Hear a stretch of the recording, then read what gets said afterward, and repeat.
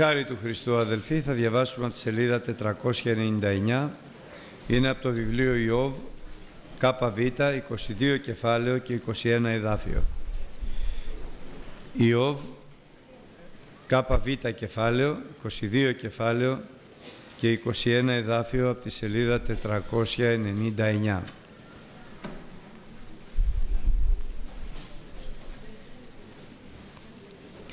σελίς 499 ΚΒ κεφάλαιο, 22 κεφάλαιο και 21 εδάφιο από το βιβλίο του Ιώβ. Οικειώθητη λοιπόν με ταυτού και έσω εν ειρήνη, ούτω θέλει ελθεί καλόνισε. Δέχθητη λοιπόν τον νόμον εκ του στόματος αυτού και βάλε τους λόγους αυτού εν την καρδία σου. Εάν επιστρέψεις προς τον παντοδύναμο, θέλεις οικοδομηθεί εκδιώξας την ανομία μακριά από το σκηνόν σου. Και θέλεις επισορεύσει το χρυσίον ως χώμα και το χρυσίον του αφήρ ως τας σπέτρα των χυμάρων. Και ο παντοδύναμος θελείστε ο υπερασπιστής σου και θέλεις έχει πλήθος αργυρίου, διότι τότε θέλεις εφραίνεστε στον παντοδύναμον και θέλεις υψώσει το πρόσωπό σου προς τον Θεόν. Θέλεις δεηθεί αυτού και θέλεις σου εισακούσει και θέλεις αποδώσεις τα σευχά σου και ό,τι αν αποφασίσεις θέλει κατορθούς θεϊσέ. Και το φως θέλει φέγγει επί τα σοδού σου. Όταν ταπεινωθεί της τότε θέλει είπε είναι ύψωσης διότι θέλει σώσει τον κεκυφώτα τους οφθαλμούς. Θέλει σώσει και τον μη αθώο ναι δια της καθαρότητας των χειρών σου θέλει σωθεί. Αμήν. Μας προτρέπει ο Λόγος του Θεού και λέει μάλιστα ότι κάνουμε πάρα πολύ καλά όταν στρέφουμε την προσοχή μας και το βλέμμα μας στον προφητικό Λόγο του Θεού γιατί μοιάζει σαν λιχνάρι φέγγον μέσα σε σκοτεινό τόπο στη ζωή του ανθρώπου. Το βιβλίο αυτό είναι ένα βιβλίο θεόπνευστο, είναι γραμμένο δηλαδή από τον ίδιο το Θεό, διαχειρών των δούλων που αυτός εξέλεξε σε όλη την περίοδο του ανθρωπίνου γένους. Είναι το βιβλίο του δημιουργού μας. Είναι το βιβλίο του κατασκευαστού μας. Είναι το βιβλίο που περιγράφει με λεπτομέρειες τις προτάσεις, τις προτροπές, αλλά και τις υποσχέσεις και τις αποφάσεις του Θεού για όλους τους ανθρώπους, για κάθε έναν ξεχωριστά, για κάθε μία οικογένεια και για κάθε μία τοπική εκκλησία. Όσα λέει ο Θεός δεσμεύεται να τα εκτελέσει. Είναι πιστός στο λόγο Του να αρνηθεί τον εαυτό Του δεν δύναται.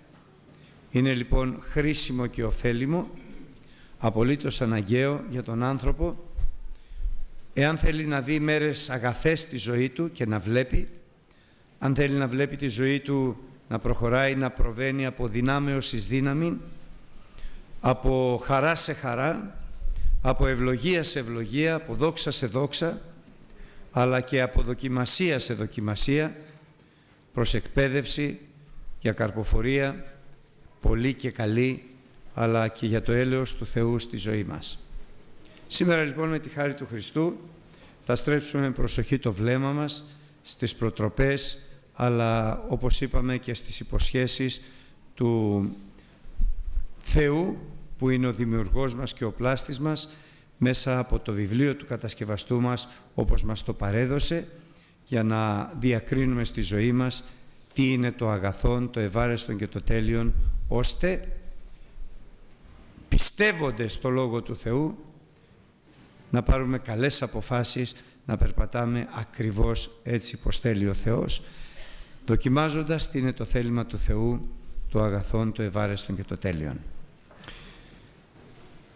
Η υπόσχεσης λοιπόν του Θεού είναι ότι θα έλθει καλόνισε και θα έρχεται καλόνισε σε σένα και αυτό όπως είπαμε το λέει ο ίδιος ο Θεός σε κάθε έναν από μας προσωπικά σήμερα θα έρχεται καλό στη ζωή σου εάν γίνεις οικείος του Θεού, φίλος του Θεού και βρεθείς σε ειρήνη με ταυτού. Δεν είναι εύκολο να γίνει αυτό, γιατί ο άνθρωπος είναι γεννημένος τέκνο οργής, ο Θεός είναι αγαθός, τέλειος, Άγιος, ο άνθρωπος όμως είναι ατελής, αμαρτωλός, άθλιος και ουτιδανός. Μέγα δε χώρισμα μεταξύ Θεού και ανθρώπων, οι αμαρτίες του ανθρώπου που καθιστούν τον άνθρωπο αδύνατον να πλησιάσει προς το Θεό για να απολαύσει και να απολαμβάνει την παρουσία Του και τις ευλογίες Του αλλά καθιστά τούτο οι αμαρτίες μας δηλαδή αδύνατον και στην προσπάθεια του Θεού να πλησιάσει τον άνθρωπο. Γι' αυτό και ο Κύριος μας αποφάσισε προκαταβολής κόσμου αγαπητά μου αδέλφια να βρει ένα, ένα μέσο εξυλασμού και όταν αναρωτήθηκε ο Θεός ποιος θα υπάγει δι' μας, τότε ο Λόγος του Θεού, ο Υιός του Θεού είπε δύο πράγματα τα οποία χαρακτηρίζουν τον άνθρωπο του Θεού, τον ευλογημένο. Ιδού εγώ ο Θεέ θα κάνω το θέλημά σου, πρώτον, και δεύτερον χαίρομαι ο Θεέ να εκτελώ το θέλημά σου. Αυτά τα δύο θέλει να ακούσει ο Θεός ήθελε να ακούσει ο Θεός από τον Λόγο του Θεού, από τον Υιό Του το μονογενή, από τον Ιησούν Χριστόν, αλλά θέλει να ακούσει και από μας για να ενεργοποιηθούν οι ουράνιες δυνάμεις, οι δυνάμεις των βασιλεί, της Βασιλείας των Ουρανών στη προσωπική ζωή του καθενός από μας. Εάν λοιπόν θέλει, θέλεις στη ζωή σου να έρχεται καλό, Δύο πράγματα πρέπει να κάνεις. Κοίταξε πώς μπορείς να γίνεις φίλος του Θεού και πώς μπορείς να έλθεις σε ειρήνη με το Θεό.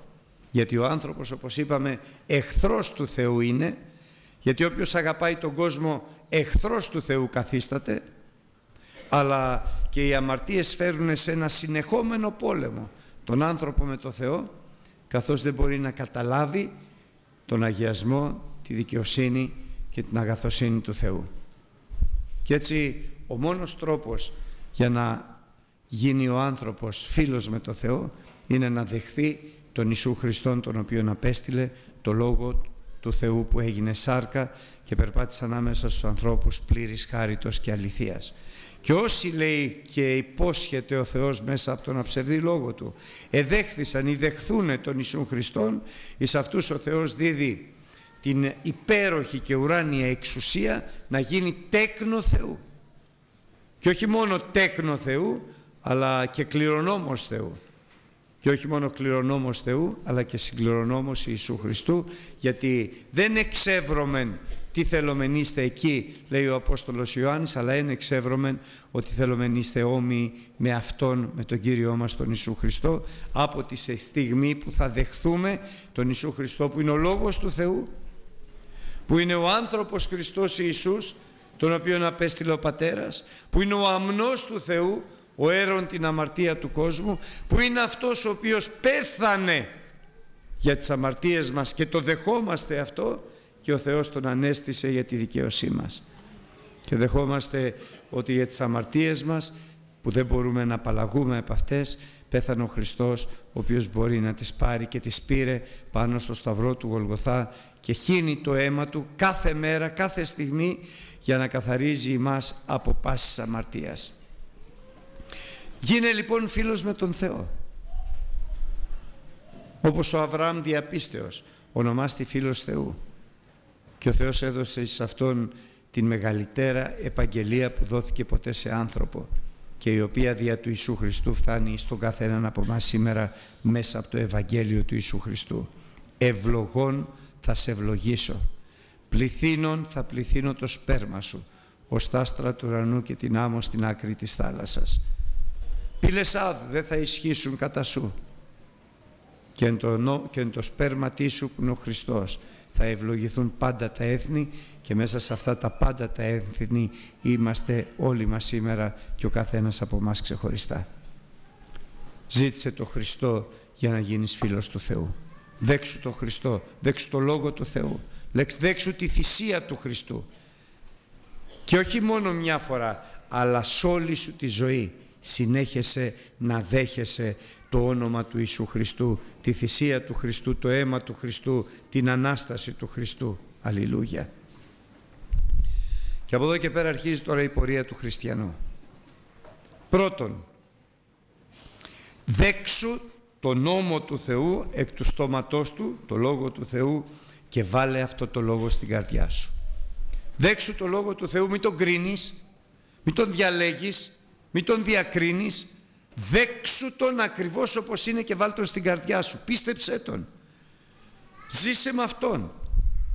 Και αυτός ο Λόγος του Θεού θα σε επιστρέφει στον Κύριο, θα σε ελέγχει περί δικαιοσύνης, περί αμαρτίας και περί κρίσεως, θα σε επιστρέφει και θα σε οδηγεί στην παρουσία του Θεού και αν εσύ επιστρέψεις και επιστρέφεις προς το Θεό πάντοτε διώχνοντας προηγούμενα κάθε ανομία που είναι αμαρτία από τη σκηνή σου, από τη ζωή σου, από το σπίτι σου, από το περιβάλλον σου τότε η ευλογία του Θεού θα επισορεύσει σε σένα όπως το χρυσάφι το καθαρό και ως τις πέτρες των χυμάρων. Θα ανοιχθούν οι ουρανοί. Δοκιμάστε με φωνάζει ο Θεός. Και αν εγώ δεν ανοίξω τους καταράχτες του ουρανού να εκχαίω την ευλογία μου στον κάθε έναν από εσάς, ώστε να μην έχετε τόπο να θέσετε αυτήν, αφήστε με. Είναι η πρόσκληση αλλά και η πρόκληση του Θεού να δοκιμάσεις το Θεό διά του Ιησού Χριστού μέσα από το Λόγο Του το γεγραμμένο αλλά και τη φωνή του Πνεύματος του Αγίου όχι μέσα από δοξασίες μύθους σοφιστικούς παραδόσεις ανθρώπινες γνώμες και σκέψεις και απόψεις ανθρώπινες μόνο ό,τι είναι γραμμένο μέσα στο Λόγο του Θεού και μέσα από το Λόγο του Θεού ό,τι οδηγία χαρίζει ο παράκλητος στο πνεύμα της αληθείας. Και τότε ο παντοδύναμος Θεός, όχι ένας Χριστούλης, ούτε ένας Θεούλης, ούτε μια εικονίτσα, ούτε ένα γαλματάκι. Ο παντοδύναμος Θεός του οποίου το όνομα είναι ο Κύριος των Κυρίων και ο Βασιλεύς των Βασιλέων. Ο Θεός του ουρανού και της γης. Αυτός θα είναι ο υπερασπιστής σου. Αλληλούια. Και πολύ θέλω αδερφοί αγαπητοί να έχω αυτή την υπόσχεση του Θεού στη ζωή μου. Δηλαδή ο παντοδύναμος Θεός, τον οποίον τίποτα δεν είναι αδύνατον να με υπερασπίζεται. Και αυτό είναι δεδομένο, δοσμένο από το Θεό δια του Λόγου Του σε κάθε έναν που δέχεται τον Ιησού Χριστόν και γίνεται οικείος και φίλος του Θεού. Παιδί Θεού.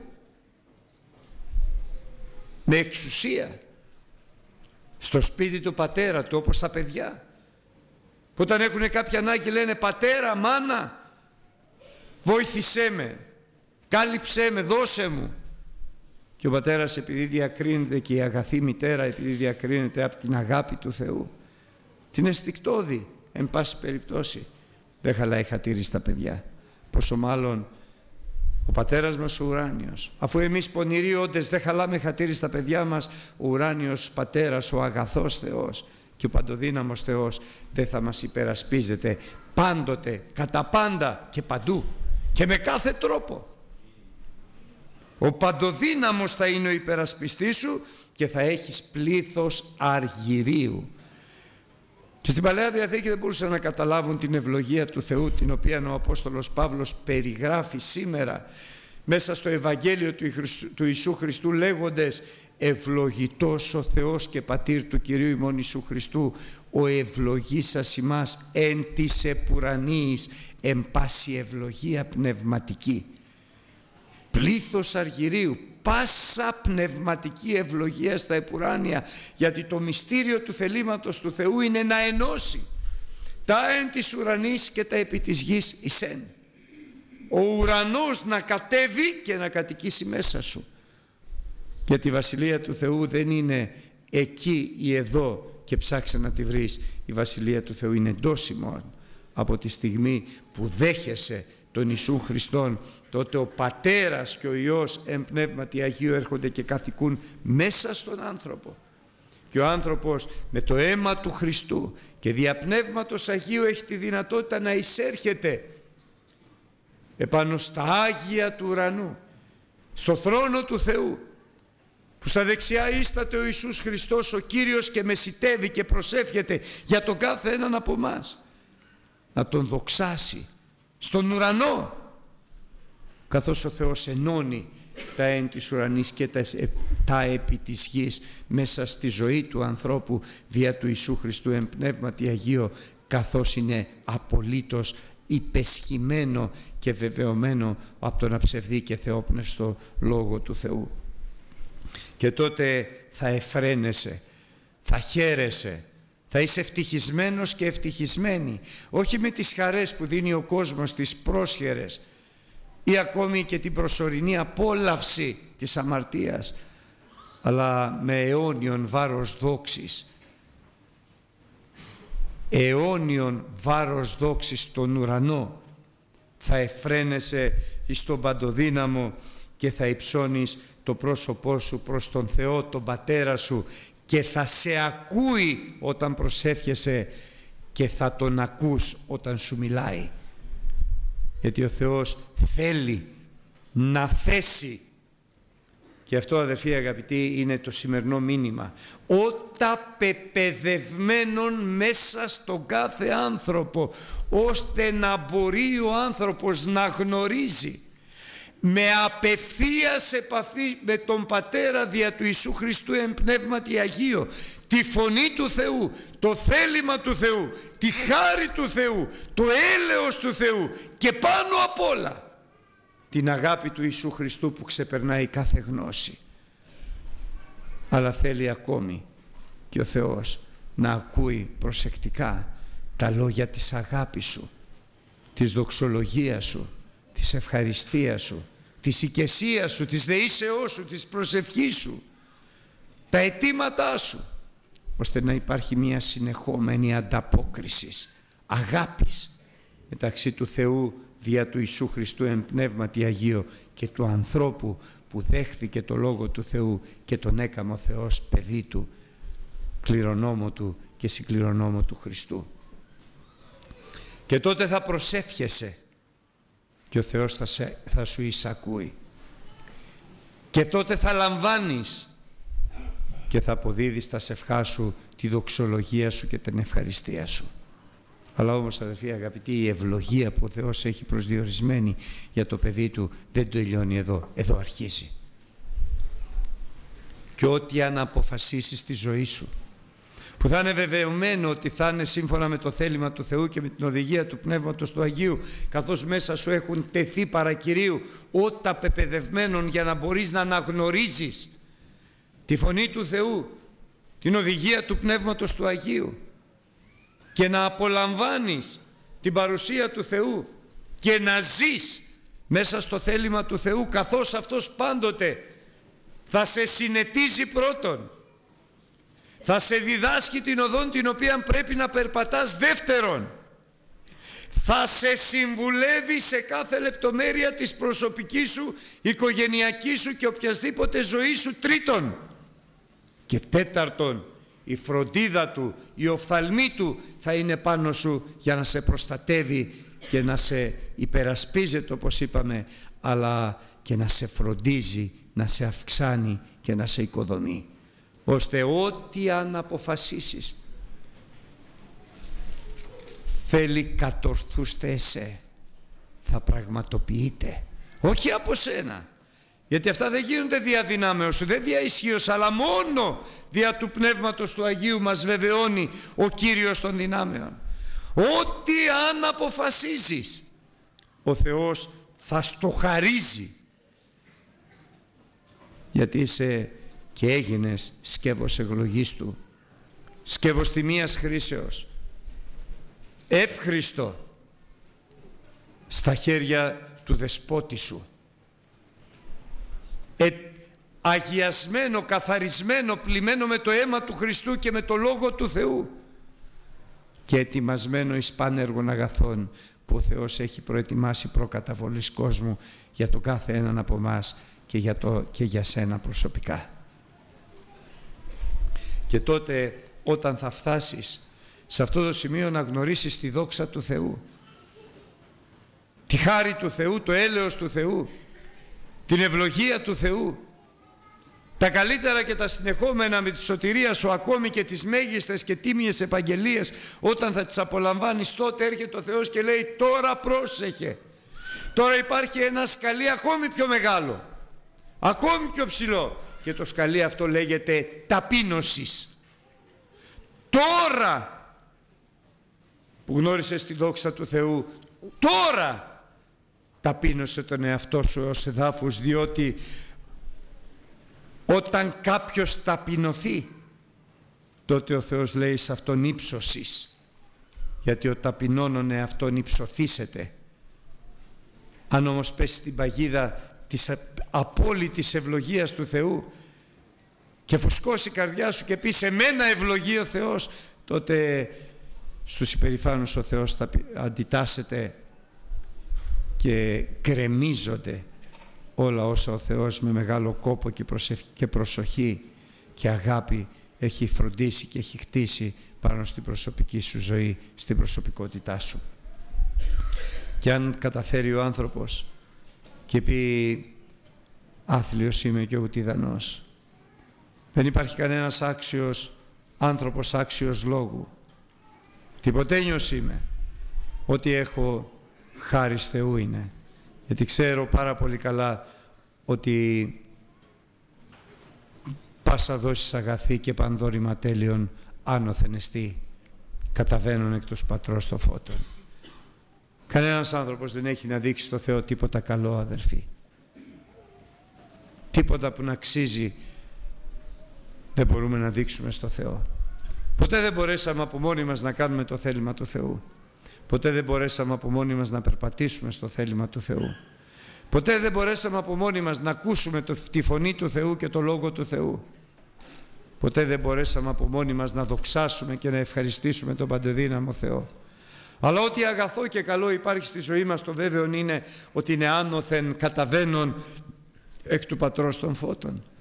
Και όταν ο άνθρωπος καταλάβει μέσα στην καρδιά του, μέσα στην ψυχή του όταν ο Θεός τον ευλογεί και συνεχίζει να τον ευλογεί και συνεχίζει και συνεχίζει να τον ευλογεί έως ουρανού εν πάση ευλογία πνευματική όταν καταλάβει ότι όλα αυτά είναι χάρη Θεού και ότι χωρίς τον Χριστό κανένας άνθρωπος δεν μπορεί να κάνει τίποτα και το συνειδητοποιήσει βαθιά στην καρδιά του τότε ζώντας με πνεύμα ταπεινού ανθρώπου και καρδιά συντετριμένου ανθρώπου και πάντοτε τρέμοντες με το Λόγο του Θεού και στο Λόγο του Θεού θα απολαμβάνει πλουσίως την παρουσία του Θεού, την εύνοια του Θεού. Και τότε ο Θεός θα μετατρέψει αυτόν τον άνθρωπο σε σωτήρα. Ναι, σε σωτήρα και σε λυτρωτή. Θα μετατρέψει αυτόν τον άνθρωπο σε σκεύος ιδιαίτερο της εκλογής του να κάνει αυτό που ο Θεός δεν μπορεί να κάνει καθώς υποσχέθηκε στον άνθρωπο να κάνει για Αυτόν αυτά που ο άνθρωπος δεν μπορεί να κάνει. Να πλησιάζει ο Θεός δια του Ιησού Χριστού εν πνεύματι Αγίο τους ανθρώπους και τους μη αθώους, τους αμαρτωλούς. Ο ίδιος ο Θεός μέσα από τον άνθρωπο στον οποίο κατοικεί με τη δύναμη του Πνεύματος του Αγίου και να σώζει τον αμαρτωλό, τον μη αθώο. Γιατί πια ο άνθρωπος αυτός είναι ένα ιδιαίτερος, ένας ιδιαίτερος δούλος, ένα ιδιαίτερο σκεύος, καρποφόρο. Γιατί ο Χριστός μας διέταξε λέγοντας δεν εκλέξατε εσείς εμένα, εγώ εξέλεξα εσάς. Σας διέταξα όμως να πάτε και να φέρετε καρπό πολύ και ο καρπός σας να μένει εις δόξαν του Θεού Πατρός. Είναι διαταγή, εντολή Θεού να καρποφορήσεις τη ζωή σου. Με καρπό πολύ και ο καρπός σου να μένει. Αλλά δεν μπορεί να έρθει η καρποφορία εάν δεν έχει προηγηθεί όλη αυτή η πορεία που ο Θεός μας περιέγραψε λεπτομερώς σήμερα ξεκινώντας από το οικειόθητη, η φιλιόθητη με τον Θεό για να μπορέσει ο Θεός να σε φέρει σε αυτό το ύψος της ευλογίας και να σε παρακαλέσει να κατέβεις σε αυτό το βάθος της ταπείνωσης ώστε η δόξα του Θεού να ενωθεί με την ταπείνωση τη δική σου για να αποκαλυφθεί το έργο του Θεού στη ζωή των ανθρώπων. Να αποκαλυφθεί ο Χριστός σωτήρας, λυτρωτής, βασιλιάς, Κύριος Θεός.